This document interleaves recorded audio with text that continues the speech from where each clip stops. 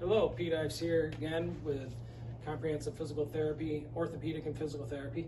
Uh, today we're going to look at the king of the golf swing, the glute muscles. We've already looked at the thoracic spine, looking for thoracic rotation, trying to get that big shoulder turn, all right, getting some power that way. Then we went down to the hips, looking for hip internal rotation specifically. We're going to work off that. The glutes are a big stabilizer, also rotator, and also very important in terms of getting power. All right, so if you look at me at address, slight bend in my knees, slight flex in the trunk, arms are forward.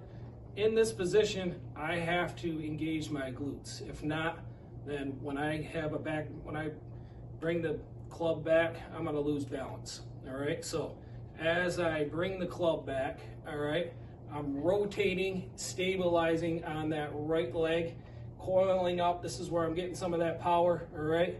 As I come through with my downswing and follow through, I'm uncoiling, releasing this energy onto that left side where I'm rotating, posting up. Need to be able to stabilize, so those glutes have to really fire, all right? If I can't do that, I'm gonna probably come off balance. I'm probably gonna lose accuracy and definitely gonna lose distance.